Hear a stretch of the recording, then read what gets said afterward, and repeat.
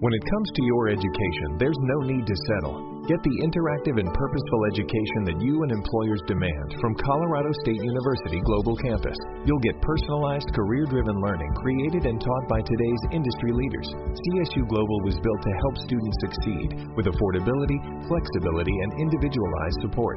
It's time to expect better. Find your path to the career you want at csuglobal.edu, where online education isn't another thing we do, it's all we do. Blog Talk Radio. Welcome everybody to Somewhere in Vegas here on Blog Talk Radio. Tom, and now on Spreaker.com. I am Mark McHugh. I am your host. I'm very privileged to have a very exciting guest. Um, he has uh, he's a celebrity chef. He's uh, done um, he's uh, cooked for many many great celebrities, um, including Diddy, Diddy, Will Smith, Common, and Tyrese Gibson. Um, and he's also has his own little spot, uh, popular spice line, and he's been uh, talking a little bit about um, some of the things that we can do um, to spice up our our, uh, our cooking nowadays. He's a really great and talented chef. Um, he's on the line with us right now. Ryan Rondeno is on with us now, right now. How you doing, Ryan? Good. How you doing? Uh, thank you for having me. Uh, no problem at all. I mean, um, are you in Los Angeles currently? Uh, yes, I'm in uh, Los Angeles currently at the present time. I've been out in Los Angeles for 10 years now. So it's been. Yeah, um, you know, I mean, originally from New Orleans. I mean, obviously, um, really great, um, really great um, kind of, um, you know, flavors that you get out there in terms of, of the cuisine. Obviously, a lot of the French, a lot of Creole cuisine out there as well. I mean, um, how's it been for you to be out in LA and, and kind of bring some of your um, some of your ideas out there? And I mean, have you learned a lot moving out to LA? Uh, yes, I, I can say that I have learned a lot from uh, different chefs, different peers that I've come across, and I've been able to uh, introduce them to my my my Creole style of cooking. So you know things they may have not seen, you know styles we, uh, or techniques that I've been able to introduce them. Uh, has been able to cross paths, and we've been able to really collaborate and you know create some uh, great dishes together quite obviously a lot of the celebrities that you work with um you know have certain dietary dietary restrictions you know um you know based on you know either maybe they're getting ready for a part and they want to look their best or it's just a situation where they just have a different kind of lifestyle. I mean how's it been for you especially with the uh, um idea of creole and, and, and french cooking um and how you've have you have you been working around that in terms of um maybe getting some of the things that they like um with with your own kind of flair well, I mean, when I'm uh, cooking for celebrities, I'm able to take their likes and dislikes and really hone in, especially if they're on uh, a special diet, if they're training for a movie or whatsoever, and really uh, kind of balance uh, farm and table cuisine. You know, especially if they're um, they cut out salt. You know, you're able to you know just use a no salt version of, um, of a spice or just even make your own without the soap. So that's how I'm able to get around it. I mean, what was one of the one of your favorite things to to, to make for a celebrity that may you may have had to uh, kind of create out of your own mind? Mm, that's that's, that's a broad question. I mean, that, that could be a lot of things. Um, I guess it, it um, it would depend on the celebrity. Um, some were vegan, so that that really challenged you to really uh, research different ingredients that um, you can really give to them, so it's not you know you're not it's not redundant. You're not giving them the same thing. So um, uh, that kind of helped. And also, you know, some you know they're traditionalists. You know, they they love fried chicken. They love the mac and cheese, um, things of that nature. So you kind of really look to make healthier versions of that. I mean, obviously, you mentioned a lot about the spices and the idea that you know you can use those to um, kind of you know kind of work around some of the dishes and all that as well to make sure um, they're not only healthy but also tasty as well. I mean, um, you know, how's it been for you to kind of you know explore um, some of the spices that that have been around and, and kind of start your spice line around that? Um, I think you know when I uh, when, when I write menus I, I like to explore different cuisines. So not only am I teaching the, the client or um, the consumer, but I'm also teaching myself.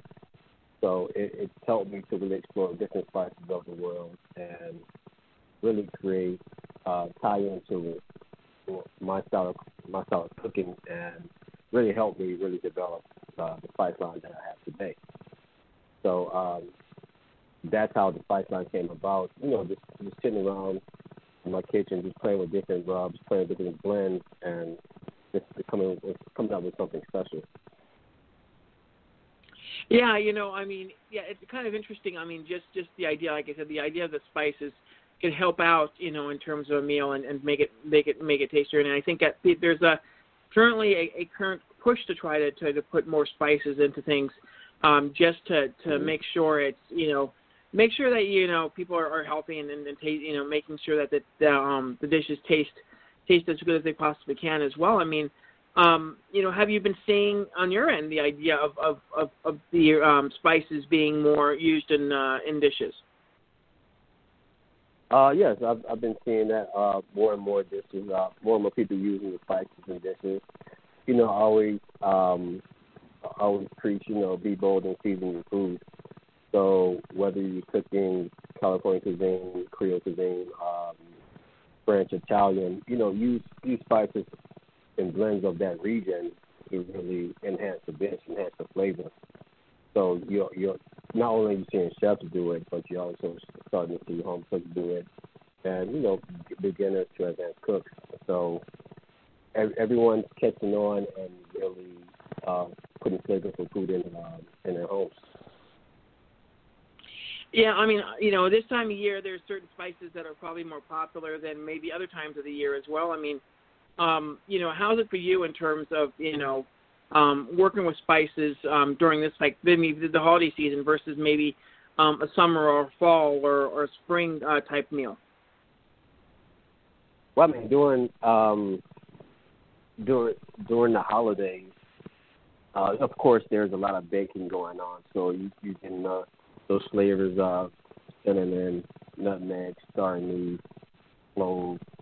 Um, so just to, just to name a few, and using those those, those spices in a savory aspect is uh, I, I wouldn't say it can be tricky because you don't want to overpower your dish, but at the same time it can enhance the dish by using the whole clo- whole spices, so I say, rather than the ground spices. So um, that's also helped me with um, creating flavorful dishes for um, people to taste. Yeah, um, during during um, you know what what certain uh, dishes have you made for celebrities around the holidays? Were there any certain th- any special requests for them t- for you to make, you know, during kind of the holiday season when when you were working for them? Um, I don't, I don't think there was anything uh, special. I mean, the, the um the celebrities that I've I've worked for, uh, they're you know have the Southern style, the East Coast style. So you know, say say we have Thanksgiving, we have the turkey, we have the ham, we have the mac and cheese, um, collard greens. So these are some traditional items that you find yourself cooking. But you know, we kind of veer off with desserts and you know, kind of be creative with um that aspect. So versus, you know, I think the sweet potato versus the pumpkin, or you know, kind of blending that with a pecan pie, so you're making a sweet potato pecan pie. So all together in one instead of two pies and separately. So uh, it helps you be creative in that aspect. Yeah, I mean, overall, I mean, have you been seeing any any certain food trends this season, or you know something that's um you know that's kind of hot right now in terms of in, in terms of food or what people are doing? Yeah, everyone. I, I'm not gonna say everyone, but you see a lot of people going vegetarian and vegan. You know that route. You know, really transforming um, the fatty holiday menu into a healthy holiday menu. So, um, you know, ways to cook Brussels sprouts in a healthier way. Um, know, ways to and cheese in a healthier way, um, like stuffing or dressing. How can we make that healthy? Um, dirty rice. How can we make that healthy? So um, you start to see more and more people do that because it's.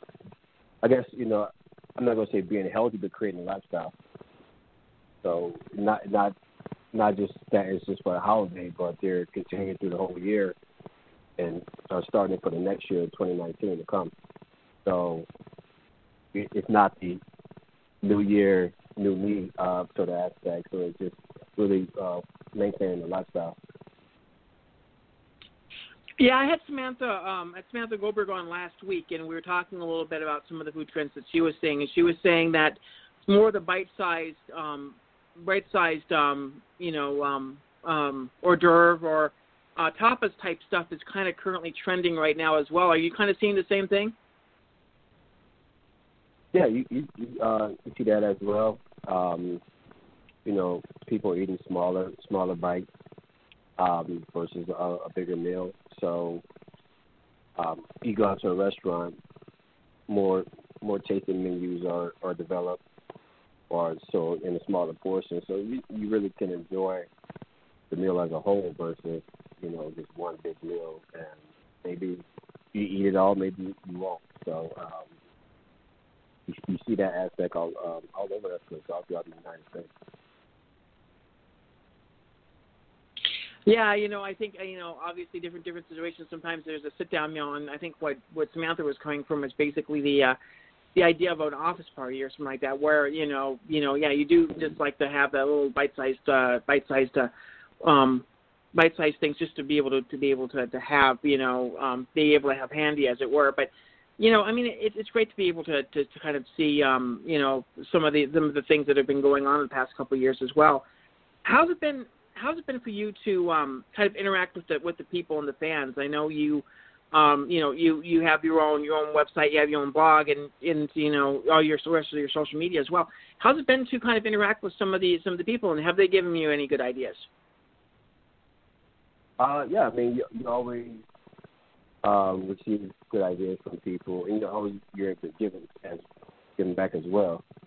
So um, as far as um, social media, I have I have a large network of friends in the business or you know colleagues that I, I'm able to see their work. I'm able to you know feed off and get inspiration of what they do or what they're doing at the present time, and you know creative dishes that they're putting out, or sometimes not not that aspect, or it's just different ingredients that they're working with. So you know, just saying to myself, maybe you know I want to try this ingredient, you know, work with it and see what I can come up with.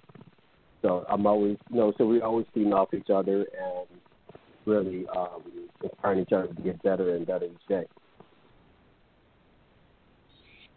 Speaking of being challenged, I mean, obviously you've been on the Food Network several times on several different shows as well. I mean, how's that been for you to, to, to kind of challenge yourself that way? And I mean, obviously, it probably gave you some more ideas on, on certain things that you were you wanted to try.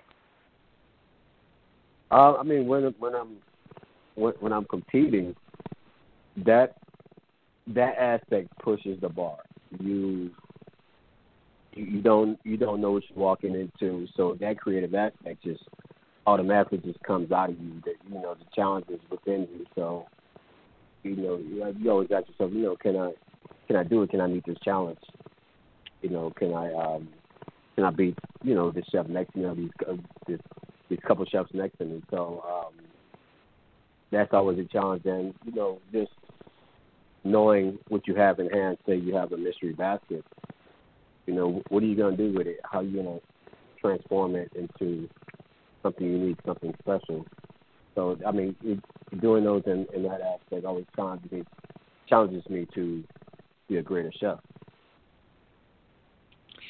Yeah, I mean, one thing about those shows I think too is the fact that you know you only have a limited amount of time. I don't know how long, and how many, how often that you've done you've done chopped, but you know, just to getting to know what the, what's what's in the kitchen or where things are, that kind of helps you in that situation. I mean, how was it for you in order to to compete, just to kind of know the uh, then to know where things were, and you know, I don't think you got very much time to be able to explore to see where everything is, right?